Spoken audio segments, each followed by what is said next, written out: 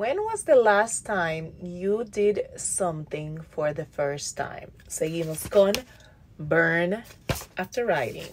When was the last time you did something for the first time? The last time that I did something for the first time was the other day where I went to the movie theaters with my husband and both of my kids. I've, will you guys believe I've never been to the movie theater with both of my kids?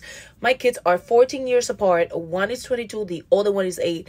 And it was very hard to get them together, but we finally found a movie that we both like, which was Spider-Man. I enjoy this Spider-Man like you have no idea. Really, really liked it. And I was sitting with my husband and then my kids were like over there because it's one of those fancy movie theaters with like reclinables.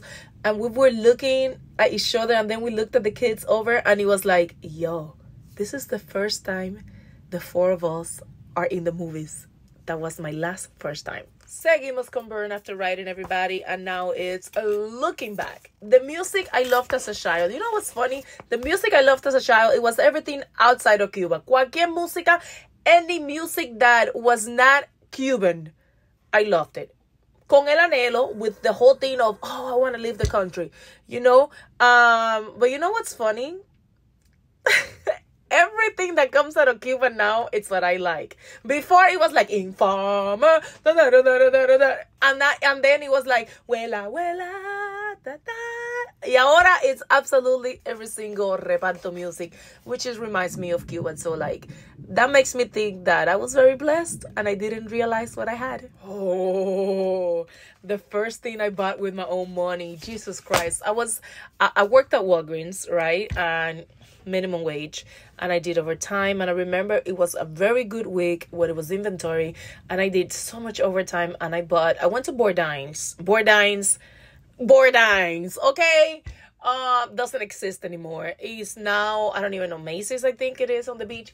It was on Alton Road, Burdines, you know? I, no, it wasn't on Alton Road. I don't remember. It was on the beach somewhere.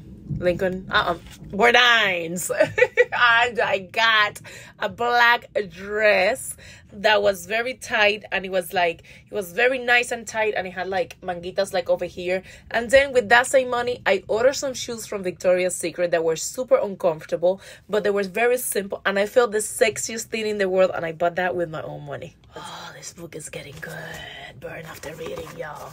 Um the age at which i became an adult there's a story behind this the age where i became an adult was 18 because I had a son at 18. So I had to be an adult, but no one is an adult at 18. So I feel that the age that I had to become an adult when I realized that I was the adult is a few years ago when my grandmother passed away. And um, that's it. I don't have any more grandparents. I have my mother. You know, that right there made me realize that I was already a legit adult. I don't know why. I've been on my own for a while. I have taken care of my mother since my mother um, stopped working 15, I don't even know how many years ago. And I don't know why I I felt like an adult when my grandma died. Wow. The person who had the greatest impact on your life.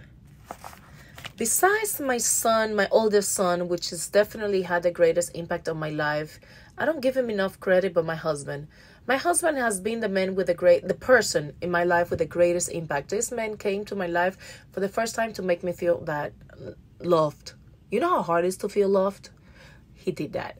Um, on top of that, he has supported me. He has been my backbone, my roots, my everything. Um, he has the greatest impact on my life. Definitely my husband. Everything that I do um comes not doesn't come from him but comes with his approval, even without telling him. He's all right with it. So that has impacted my life like you guys have no idea.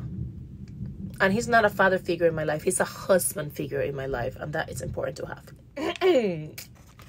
the person I have loved the most. Me. I don't know why I feel bad confessing this. I love myself a lot. Um, I've learned how to love myself through all the issues that I have had in life, to all the negativity around me, through all the judgment from society to all the letting me down to all the doors that have closed on me because of who I am or who I decide to be. I have loved myself the most. Yes, I have to say that even though I do put everybody else in my life before me, you know, I have loved myself the most because when myself wants something, myself gets it. When myself needs something, myself gets it. So I have definitely learned to love myself. So I definitely love myself the most.